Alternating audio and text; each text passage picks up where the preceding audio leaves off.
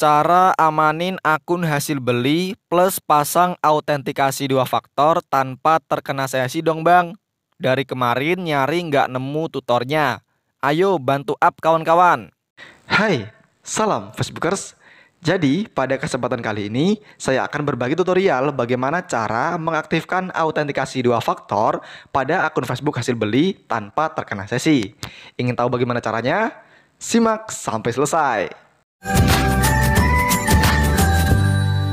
Jadi, video ini merupakan cara untuk mengaktifkan autentikasi dua faktor yang part kedua ya. So, bagi teman-teman yang ingin melihat yang part pertama, silahkan cek di atas ini.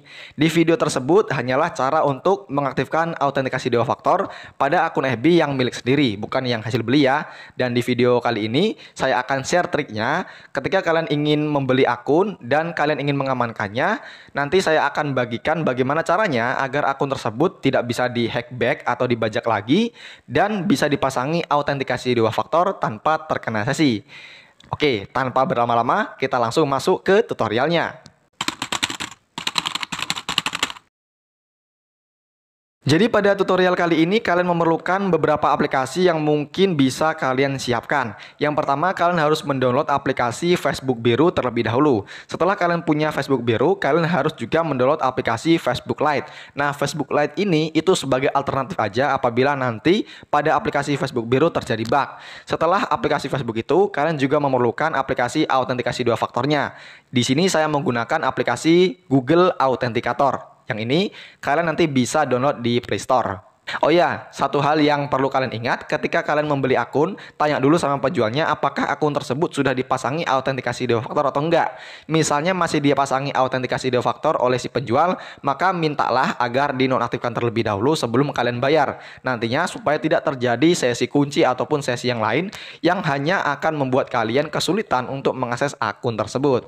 Oke, jadi berikut tutorial lengkapnya. Ini teman-teman, jadi kalian harus menggunakan aplikasi Facebook Biru untuk melakukan trik pertama kali. Silahkan masukkan data akun Facebook kalian, kemudian klik login. Setelah itu, silahkan menuju ke garis tiga di pojok kanan atas. Dan silahkan scroll ke bawah, pilih menu setting dan privacy, dan pilihlah menu setting. Pertama-tama silahkan pilih menu password and security. Kalian harus ganti dulu kata sandinya ya. Pada menu ini, silahkan scroll ke bawah dan pilihlah menu Change Password. Masukkan kata sandi saat ini dan untuk dua kolom yang di bawah, masukkan kata sandi baru kalian. Setelah sudah, silahkan pilih menu Update Password. Oke, sudah berhasil.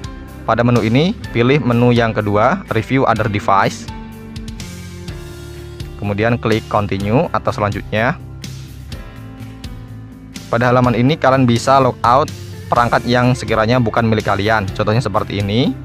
Yang paling bawah adalah bukan milik saya. Nah kemudian pilih titik tiga di sampingnya dan pilih menu logout maka secara otomatis di perangkat tersebut akan terlogout akun FB kita. Kemudian klik back. Kemudian klik kembali lagi sampai menuju ke menu account seperti ini. Pilih menu personal and account information untuk mengupdate emailnya. Pilih menu kontak info. Pada halaman ini silahkan pilih menu add email address atau tambahkan email baru terlebih dahulu.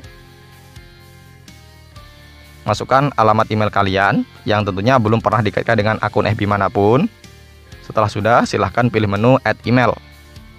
Biasanya akan terjadi bug jika di refresh akan muncul kolom untuk mengisikan kata sandi. Kalian ulangi saja, masukkan alamat email kalian dan masukkan kata sandinya lagi.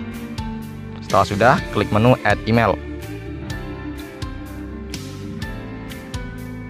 Maka akan muncul seperti ini. Langsung saja klik menu confirm dan buka email masuk di HP kalian. Setelah saya buka ternyata belum ada, saya coba refresh kalau terjadi seperti ini kalian jangan khawatir. Silahkan kalian kembali dulu di aplikasi Facebooknya dan pilih menu resend confirmation email atau kirim ulang kode konfirmasinya. Setelah itu cek lagi email yang masuk di aplikasinya. Nah, alhamdulillah sudah masuk. Langsung saja saya klik.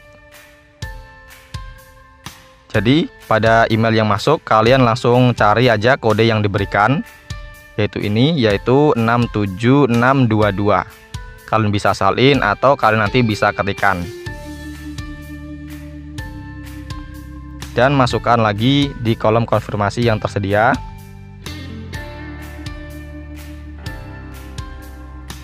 Oke, jangan sampai ada yang salah ya. Kemudian klik confirm. Jika error seperti ini, refresh aja kemudian pilih menu Resend Confirmation Email karena itu tadi hanyalah sebuah bug. Maka langsung akan diarahkan pada menu seperti ini artinya sudah berhasil ditambahkan. Setelah itu silakan kembali. Jika masih muncul seperti ini kembali lagi ke menu awal akun Facebook kalian. Dan lakukan refresh satu kali. Kemudian menuju lagi ke garis tiga ke menu setting. Buka lagi menu personal and account information ke kontak info maka sudah berhasil ditambahkan. Langkah yang selanjutnya, kalian harus pilih email yang baru dan kalian harus jadikan utama dengan cara klik menu Make Primary. Ini artinya adalah jadikan utama. Jika sudah terkonfirmasi, silahkan kembali lagi untuk menghapus email bawaan. Email bawaan adalah yang ada di bawah, tapi sebelum itu silahkan kalian refresh terlebih dahulu agar tidak terkena sesi. Oke, masuk lagi di menu setting, ke menu personal and account information, ke menu kontak info, dan pilihlah alamat email bawaan. Nanti silahkan scroll ke bawah ada tulisan remove, itu artinya hapus. Pada konfirmasi silahkan pilih menu remove email. Maka email bawaan sudah terhapus. Jadi ini sudah resmi menjadi akun Facebook kalian. Sekarang yang perlu kalian lakukan adalah kembali dulu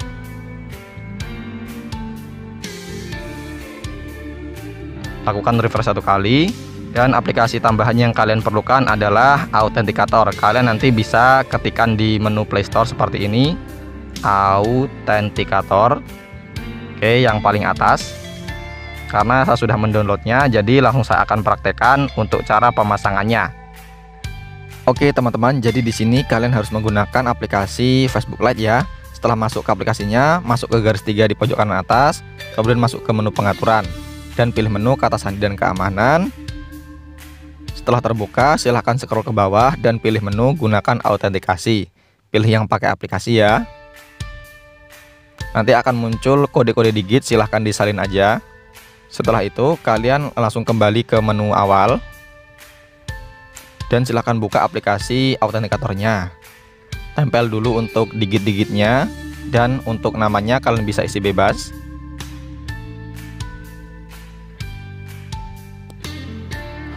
Kemudian pilih menu add. Nah ingat itu kodenya. Dan masukkan kodenya di menu aplikasi Facebook. Lanjutkan dan masukkan kodenya di menu kode konfirmasi. Dan klik lanjutkan. Oke Alhamdulillah autentikasi dua faktor sudah berhasil saya aktifkan. Klik selesai kalau terjadi bug seperti ini. Klik aja menu yang di bawah kemudian klik selesai. Maka sudah bisa dilihat autentikasi faktornya sudah bisa berhasil dipasang. Oke, jadi sekarang kita akan pembuktian melalui Google Chrome. Silahkan login di aplikasi Google Chrome dan masuk ke websitenya m.facebook.com. Masukkan data email kalian dan kata sandinya. Setelah sudah, silahkan klik masuk ke Google Chrome. Oke, alhamdulillah bisa dilihat ya teman-teman untuk autentikasi faktornya sudah berhasil dipasang. Jadi ketika ada orang lain yang ingin masuk ke akun kalian, harus memerlukan kode konfirmasi yang di mana hanya kalian yang dapat mengakses kode konfirmasi tersebut.